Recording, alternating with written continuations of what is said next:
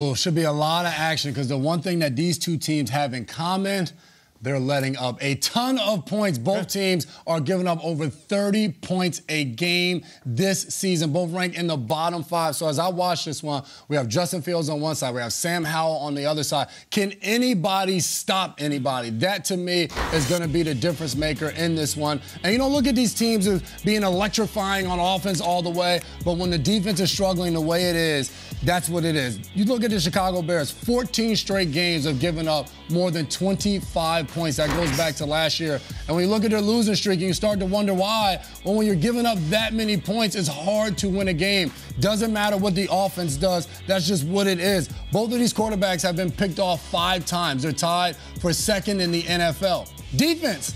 Secondary, let's go. Step up, make a play. Thursday night football, prime time, everybody's watching. Someone has to step on the defensive side of the ball for both of these ball clubs. They have the talent there. The pass rush for Washington is unbelievable, but it just hasn't it hasn't come to fruition as far as stopping people from putting the ball in the end zone. Something's got to give on this one. I, I, I think this game's going to be close. I really do. And if you've been paying attention to the Bears for the last 13 games, I think that they will have a shot at the end of the game to win it. I think the ball will be in Fields' hands. Here's the dirty little secret about this 13 game losing streak. If you might say, give Fields a chance or he needs more help, Justin Fields has had a lot of opportunities at the end of games to give us the drive, mm. the win. Look at this full screen, guys. This is during the 13 game losing streak in the final three minutes of regulation.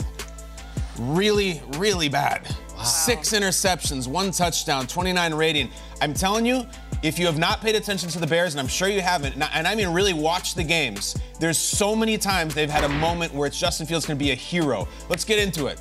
Week nine last year during the losing streak, they're trailing thir- by three points. It's the fourth and 10. They can't make a play. The Dolphins win. The very next week, week 10, blow a huge lead against the Lions. This is Fields trying to be Superman and break tackles. Nope, it's over. Can't get the win. The very next week, 2022, week 11, they're down three to the Falcons. Guys, let's get a win. Nope, intercepted, oh. ball's too high. Two weeks later, 2022, they lead they led the Packers by nine in the fourth quarter. It's over. They lose. This is like every time you're like, all right, Justin, let's do it. Be a hero. You know this one. This is earlier this season. Here's the nope, it's over. Intercepted on a screen pass. As they ran the same play the prior snap. And then last week. Last week was the Nadir. This is the one. This was the bottom. But after the Broncos took the lead, Fields had the ball. Yeah. Let's have a winning drive. Get us in field goal range, anything. Intercepted. It has happened time and time again. Justin Fields is far from blameless. Far from it. He's been a lot of times where it's like, he threw an interception. We blew it. We're done. Um, I think he's going to have a chance tonight. Mm-hmm. It's the longest losing streak in Bears history. You have a beatable Washington team on a short week. Crazy things can happen. I bet Fields will have a shot. And I would like just for once, for once, cash it in. Yeah. Cash it in. I get it. He's a first round pick, yeah. and you're expecting a first round pick to be able to finally. T- okay, just get it done. Just make it happen. Um, I'm going back to what you were saying. What do you got? This Washington defense is littered with first round picks, True. and we celebrate them like they're superstars. Jonathan Allen and Chase Young and Daron Payne and now Emmanuel Forbes. They've given up 1,200 yards of offense over the mm. last three weeks. Mm. Sam Howell played his butt off last week. He went toe to toe with Jalen Hurts. The defense couldn't stop anyone. Mm-hmm. So you're watching this game. I'm sure you were there as well. You're, you're seeing Jalen Hurts make uh, you know all these plays, and you're like, oh, there's no way that the Washington Commanders' offense can keep up. They did. Howell played well. Howell scored. Yeah. Howell, yeah. fifth career start, goes into Philly and puts up 34 points. I don't, I don't know what else you want from a young man.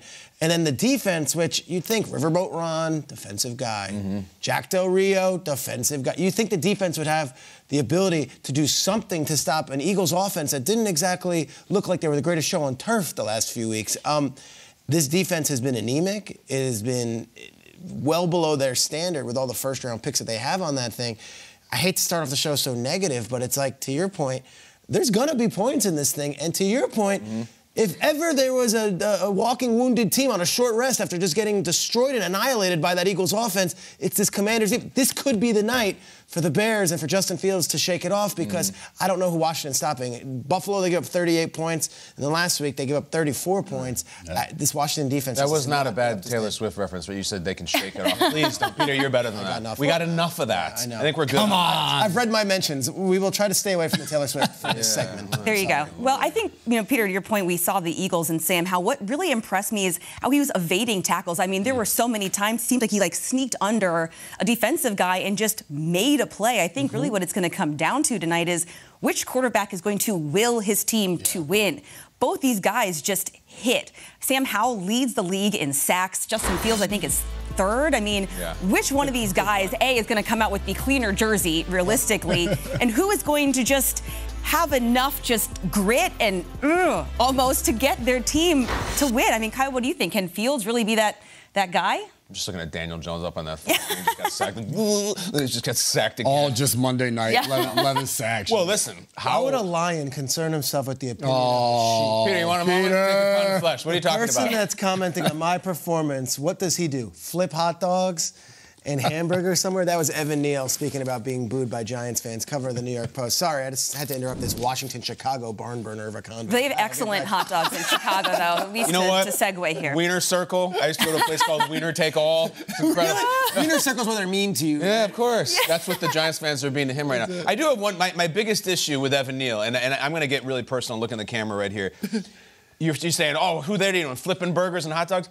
You don't really flip hot dogs. It's really like you flip the burgers. It's more of a twist. Have you ever eaten a hot dog? That's my biggest problem. It's not calling working class fans out or taking. No, no, it's that. Uh, Glizzy talk. No, no, go ahead. Yeah. You don't flip hot dogs. You don't. You doing? Flipping a hot dog. Who throws a hot dog up in there? Um, I think you asked about just. I told you you're trying to class the place up. We're just a bunch of idiots here yeah. talking about hot dogs. Roll with the punches. Um, I'm trying. Listen, if this game, was... this, Al Michaels, uh, this, game, this game could be a tough flip for Al in the second half if it gets ugly. I'll just I think Al's going to end a lot of sentences with "Go figure." This was a he tough, likes to do that. tough flip for us for the first eight minutes to start the show. It's because of how poorly they played the last few weeks. Uh, that's true. Yeah. Justin Fields needs to break this losing streak. Like I, I told you this.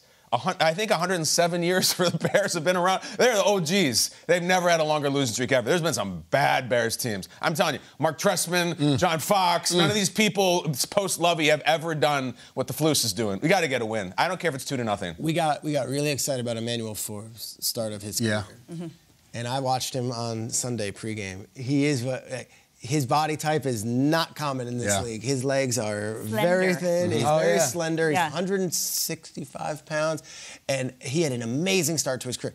AJ Brown gave him the business. Yeah. And I, from what I'm told, he's off social media afterwards. He's mm. like, down on his feelings a little bit. He's 22 years old. Like rough, this, laughing. 170, laughing. 170 like, is like this. These are the types of stories I'm looking for. How does he bounce back? Yeah. Like, there's stuff like that. Like here we are. We got all these first round picks.